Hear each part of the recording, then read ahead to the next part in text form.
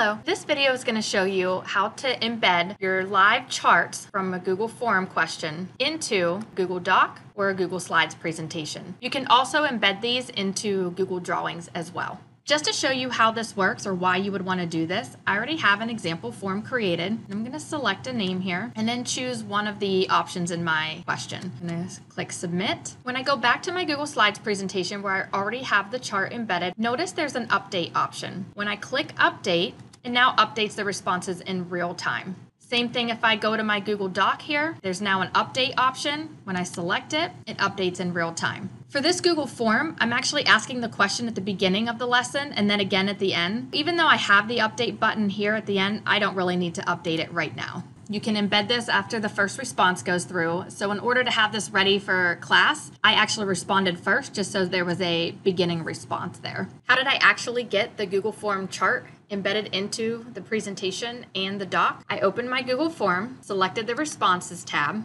went down to the question I wanted to add the chart from, and selected copy. Super simple. And then I went to the Google Slides presentation. I'm going to delete this one out just for now. And all I did was go to the slide I wanted to add it on and control V, and this pop-up box came up. And I want to link it to the form so that every time it's updated or a new response comes in, I have the option to update. I'm going to select paste, and it pastes right in there.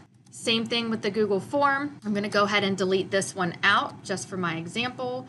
And same thing, I'm going to just do Control V. Gives me the same pop-up box, and I'm going to link it to the form so there's live responses coming in and click paste and it's there. If you have multiple classes and you want to do this again or like I have set up in this Google Doc, I have a beginning, I'm going to use the same question and then I have an end. What I will do is I will go back to my Google form and I'll go to the responses tab and I'm actually going to come over here and delete all responses. And I'm going to say okay, yes. But don't worry for deleting responses. If you need accountability for this, I still have all the options here. I don't need to worry about saving the students' responses who have already responded. As you can can see, I don't have any options in here. So I'm going to go back to the Google form and put it in preview mode so I can respond again. I'm going to click submit and I'm going to actually fill this out a couple more times.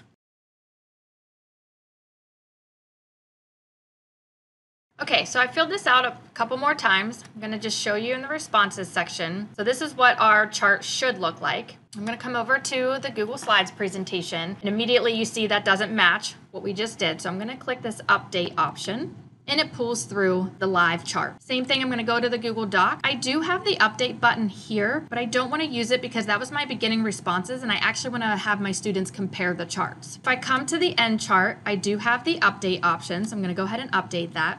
And now I have a great open ended question. Why do you think there is a difference between these two charts when asking the same questions from beginning to end of the lesson? Only those with the Google Forms permissions can actually update these and click that update button. So if you need your students to do this, you're going to have to give them access to the Google form, which you probably don't want to do.